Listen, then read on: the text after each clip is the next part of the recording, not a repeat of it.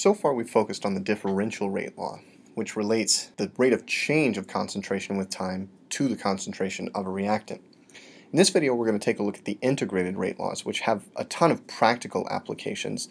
They're a lot more practically useful than the differential rate law because they don't involve these instantaneous changes which can be difficult to measure and work with experimentally.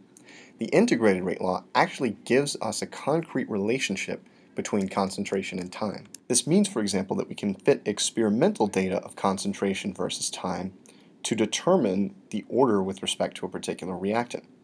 We can also use the integrated rate equation in a purely theoretical way to predict the amount of product we'll have after a given amount of time, or to predict the amount of reactant remaining after a certain amount of time, or to find the amount of time required to achieve a particular conversion.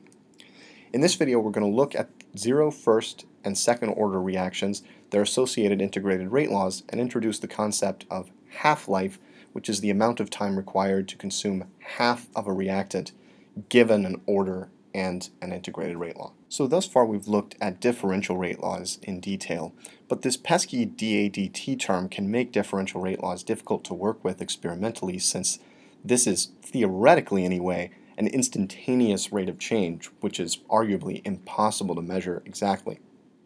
To get this in a form that's more experimentally useful and a little bit more intuitive mathematically, we can rearrange this equation to collect all of the concentration terms on one side and all of the time terms and everything else on the other. So if, for example, we multiply both sides through by negative 1 and divide by the concentration of A to the m power, we get all the molarity of A terms on one side and negative k dt on the other side. To eliminate these differentials, since we've separated the variables on both sides of this equation, we can integrate both sides. The resulting equation is going to contain the concentration and time variables and illustrate the relationship between concentration at time and time, and it's known as the integrated rate law. I haven't written it in an explicit form just yet because the exact form of the integrated rate law is going to depend on the value of m. So for example, when m is equal to 0, we're in a zero order situation and this entire molarity of a to the n term becomes 1.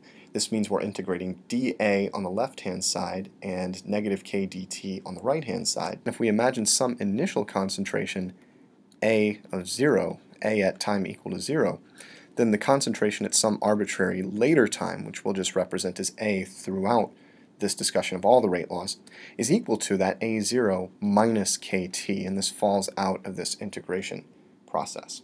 Graphically, if we think about plotting this on a graph of time on the x-axis and the concentration of A on the y-axis, this represents a linear decrease in A with time.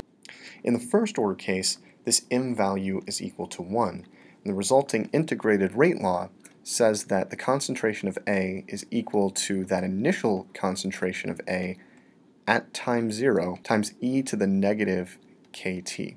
So this is an exponential decay of the concentration of A with time. And the only thing I'll point out here is, first of all, that of course this decrease is now curved rather than linear, and notice that the rate decreases as time goes on and the concentration decreases. This is consistent with the corresponding differential rate law, which basically says the rate is directly proportional to the concentration. So it makes sense that the, the curve flattens out as we move for, forward in time.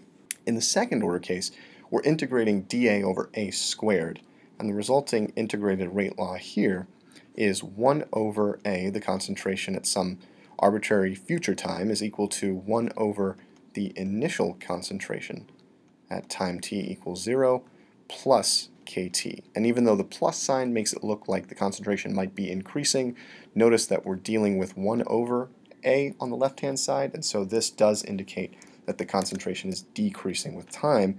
And again, if we plot time on the x-axis and concentration of A on the y-axis, we end up with a curved decrease. This time it's not an exponential decrease, but an inverse type decrease in the concentration with time.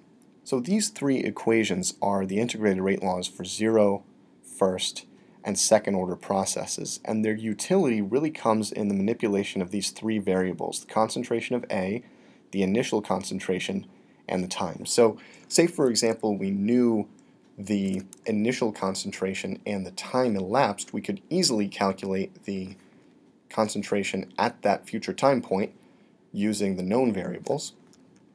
We could flip around the knowns. So we could we could say if we know the initial concentration and our target desired concentration, we can use the integrated rate law to calculate the time required to reach that point. Finally, we can use the integrated rate law fit to experimental data to first of all determine what the order of reaction is for a particular reactant, and second of all, identify the value of K just by looking at the slope of the graph in the zero order case or after a linearization procedure the slopes of related plots for the first order and second order cases. One of the most useful reaction times now that we've discussed the integrated rate law is known as the half-life, or T1 half.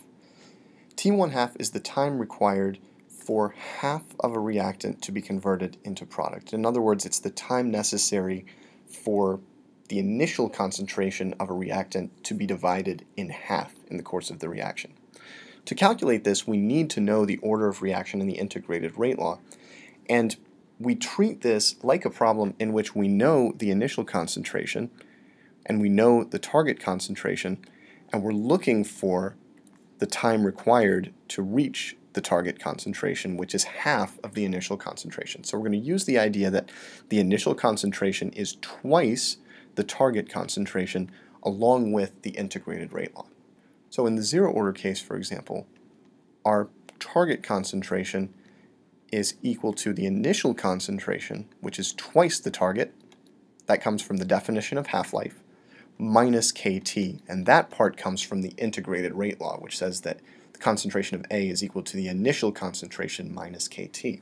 This T is T1 half, the half-life, and if we do a little bit of rearranging and solve for T1 half, we find that T1 half is equal to the target concentration, that is half of the initial, divided by K, the rate constant. You'll probably see this equation in a different form that actually substitutes in A0 for A and divides by 2. In other words, it uses the idea that the target concentration is one half of the initial concentration, Substituting that in for this equation above gets us to the result that the half-life is equal to the initial concentration, A0, divided by 2K. And this is the typical half-life for a zero-order reaction. So the interesting result here is that the half-life depends on the initial concentration. That should feel intuitively right for a zero-order process which represents linear decrease in the concentration of the reactant. I'll switch colors for the first order case, but we're going to use the same idea. The concentration of A is equal to the initial concentration 2A e to the negative kt, where the t here is t1 half. If we take the natural log of both sides of this equation, we can get t1 half by itself. But a couple of other interesting things happen. Notice that when we take the natural log of a on the left-hand side, we get natural log of a. When we take the natural log of the right-hand side, we get a natural log of a term, which subtracts out the natural log of a term on the left-hand side here, since we'll get the natural log of 2 plus the natural log of a minus kt1 half.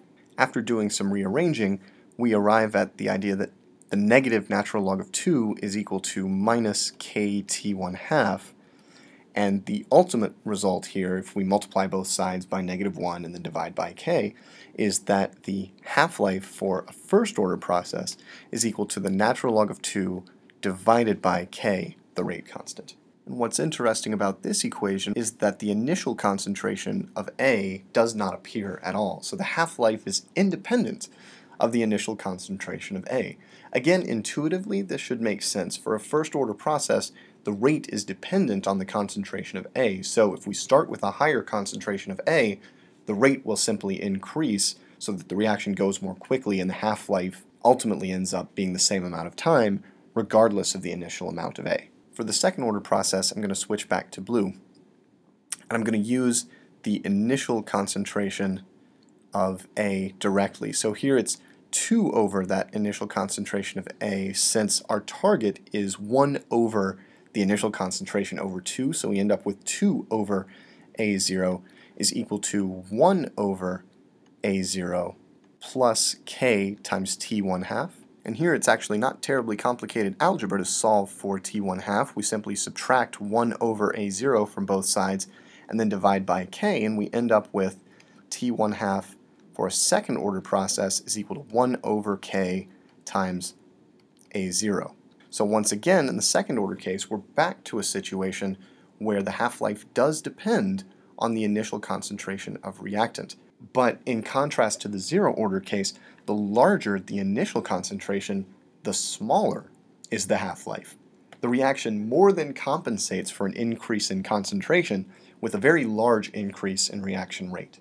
It's definitely worth putting these three equations down on your crib sheet for T1 half, but it's also worth appreciating the method we used to come to these equations, which is just an application of the integrated rate law. You can apply the integrated rate law to find the amount of time required to reach any conversion of product, not just 50% or, or half consumed. You could apply it to find 20% conversion time, 80% conversion time, 90% conversion time, etc., whatever you're looking for. The same general procedure as we applied here applies in those cases as well.